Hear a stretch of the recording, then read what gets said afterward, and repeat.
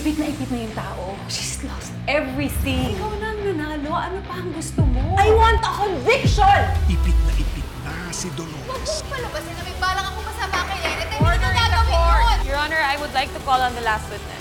I call to the stand Dolores Miranda. She has gone overboard with the illusion na anak nga niya si Lane. Hindi totoo sagahapos na the General's daughter?